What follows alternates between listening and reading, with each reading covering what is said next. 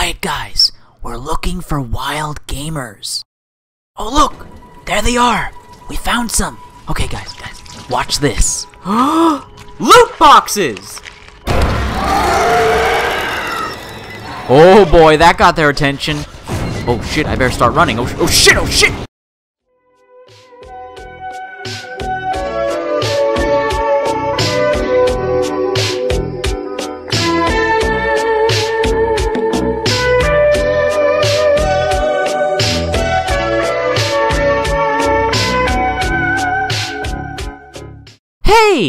Hi! How you doing? This is the Gamertron, and welcome back to the Gamertron Show. So, EA's Star Wars Battlefront 2. Megan was right. Everything's gone to hell. And so, the video game community moral outrage machine is at it again. EA really screwed the pooch this time. They went one microtransaction too far. The outrage, the controversy, the drama over EA's Star Wars Battlefront 2 and its pay-to-win loot box microtransactions is legendary. Now this would typically be the part of the video where I would do what every other gaming YouTuber is doing at the moment and relay to you, repeat to you the exact same information you have heard over and over and over again. But I'm not going to, because you already know everything there is to know about Star Wars Battlefront 2. No one's shutting up about it anytime soon. Granted, this is a hot topic. This is the talk of the gaming community town. It's popular and very profitable. Now, that's not me throwing shade on every single gaming YouTuber that is talking about this, but maybe if you make 10 videos in a row, which are basically the same video repeating themselves over and over again, then maybe, just maybe, you're milking this topic just a tad bit. But hey, that's not what this video is about. I'm not actually here to talk to you about the Star Wars Battlefront 2 pay-to-win microtransactions. There's nothing to debate or defend over when it comes to them. They are garbage. There's no way to dance around it. And they fundamentally, negatively impact the gameplay experience. But you've heard all that before. What I want to talk about, something I believed or not consider to be a tad bit more important, is the gaming community moral outrage machine at it again, at full force. Now, I've seen sweaty nerds on the internet go on a rampage before, but nothing like this. This is whole new levels of toxic waste. Now, what is the mature and rational adult response to finding out that a video game contains business practices that you don't approve of, that you don't like? You simply don't buy the game. And boom, just like that, problem solved. Easy peasy, lemon squeezy, go on your life a breezy. But how's the gaming community reacting to this?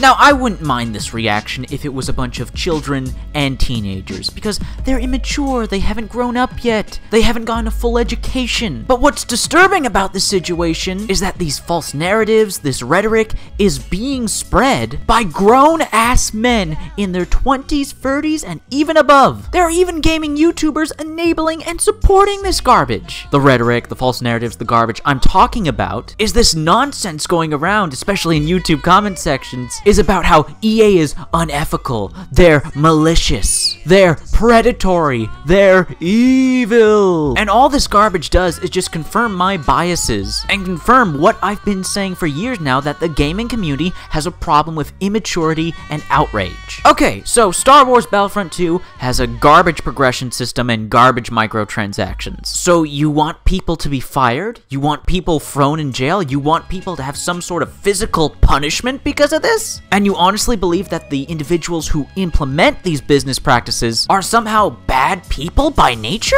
This is so out of touch with reality in such a closed-minded perspective because when you take a wider perspective outside of video games, this isn't a big deal whatsoever.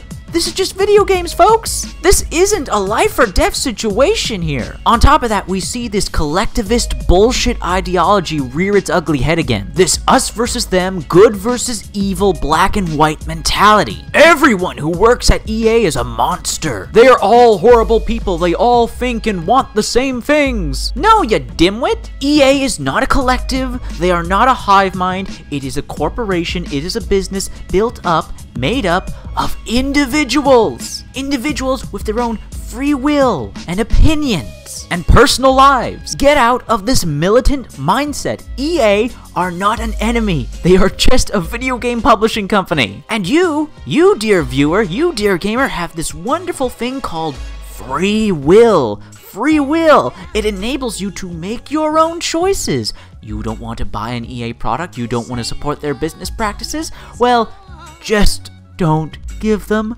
your money. It's that simple. EA is not coming into your house, they're not pointing a gun to your head, and they're not taking the money out of your wallet. You are handing it over to them of your own free will. And it is because of this wonderful, beautiful thing we call free will and individuality that AAA video game publishers keep upping the ante and keep implementing these microtransaction business practices. Because individuals of their own free will are spending their money on them. And I know this is hard to do, but look at this from another perspective. Look at this from the perspective of the individuals working at Electronic Arts. Keep in mind, these video game publishers, the heads, the people running the video game industry, as ironic as it is, the people who run these video game publishers aren't gamers. They are, for the most part, older men who grew up in a generation without video games, who didn't play video games. Yet, through their life experiences and rising through the ranks of business in different corporations, they have come to be the heads of video game publishers. And while they don't play video games themselves, they see that video games are a very profitable industry. The heads of these video game publishers aren't gamers, they aren't the consumers of video games, so they are not experiencing firsthand how these business practices negatively affect the gameplay experience. All they're seeing is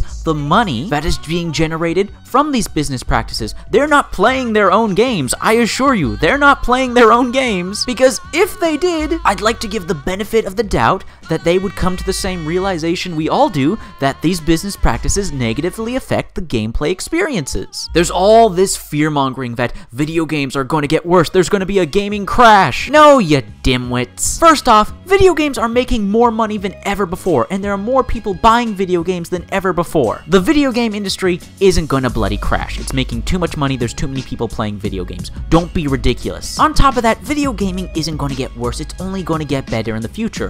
Why? Because the heads at these video game publishers eventually they're going to retire or more morbidly, but it's the truth, pass away, and the next generation of CEOs who will run these companies will be most likely individuals who actually play video games, who grew up with video games. They know what it's like to be a gaming consumer. They will know what business practices the consumers are comfortable with and which ones they are not. Right now, the video game industry is run by people who don't play video games. Basic research, some simple Google searches would show you this. From the perspective of the current individuals running these video game publishing companies, all they're seeing is the profit. That's all they're seeing. They don't see video games as an art form because they don't play them. And I can't blame someone with that perspective. When you're here to run a business and maximize profits, you're gonna follow the money trail. And where is the money trail right now? Microtransactions, DLC, season passes, all this stuff. It is profitable. It is undeniably profitable. We have evidence, we have numbers showing that these business practices are successful, that they make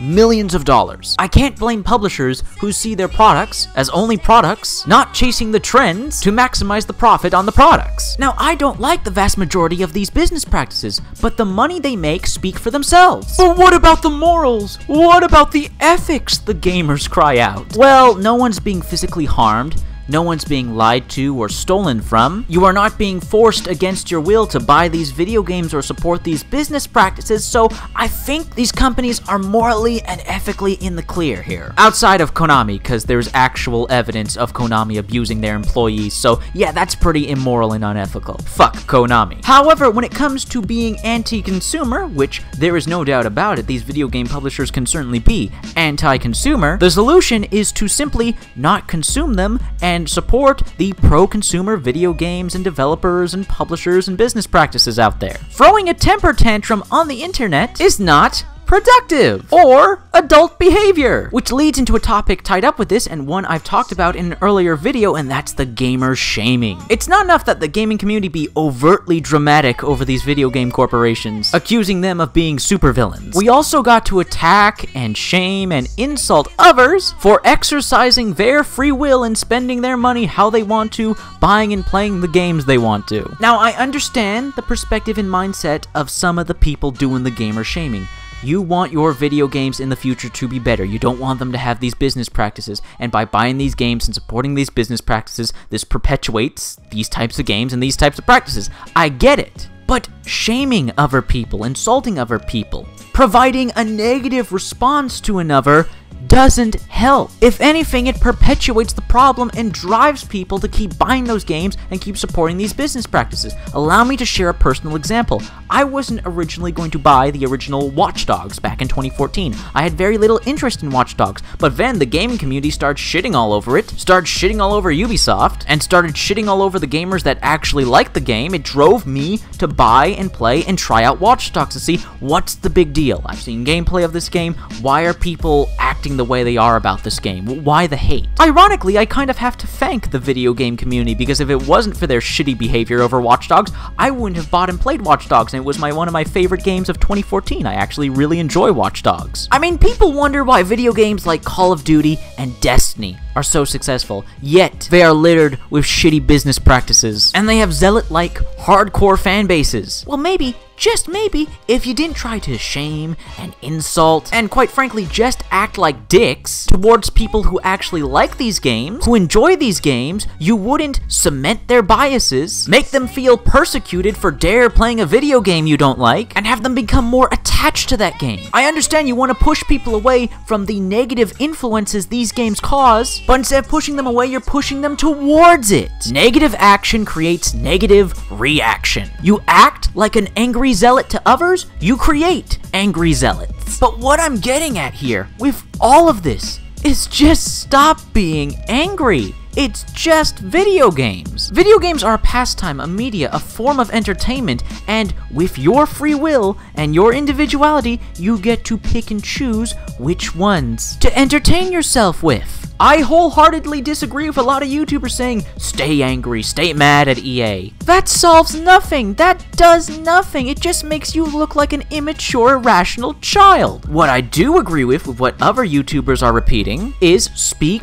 with your wallet. It's an industry. It's a business, kiddo. EA does not read your angry, ranting, venting comments in the YouTube comment section. They do not read your YouTube comments. Understand this. They do not read your YouTube comments. The individuals running EA, the individuals running these video game publishing companies are not the same age as you, do not have the same personal tastes and life experiences of you. They are not watching your favorite YouTuber and scrolling down the comment section to read your angry, ranty, virtue signaling like whoring comment. As a consumer, you send a much more powerful, much more meaningful message by not supporting the product, uh, by not buying the product, by not spending your money on the product or the business practices. It's so simple, it's so easy, and yet so many are blowing this up to be bigger than it is. Getting so angry, so mad over something that's honestly really petty. It's just video games, folks. It's just video games. It's not the end of the world, nobody's dying, and these video game publishers are not stealing your money. They're not predators, they're not being predatory. I see this word, I see this term getting thrown around so often. EA and other video game publishers are not taking away your free will. You are still a free thinking individual with your own personal choices. Can we please? Please, I've brought this up before in recent past videos, can we get rid of this collectivist, hive mind mentality, good versus evil, us versus them, black and white bullshit. Not every issue is a battle or a war to be won. It's just video games, folks. Moral outrage need not apply. And there we go. That's my take on the Star Wars Battlefront 2 controversy. Now let's get back to the fun stuff, you know, talking about all the awesome video games that have come out this year in 2017. There's a lot to go through. But this has been a video, and you guys know the routine. Please leave a comment in the comment section down below. Leave your thoughts, feelings, and opinions. If you like this video in any way, shape, or form, then please be sure to hit the like button. Please share this video on social media, Twitter, and Facebook. And if you want to help out and support me directly, well, there's always Patreon. Anyways, guys, this has been a video, and I'll see you all later.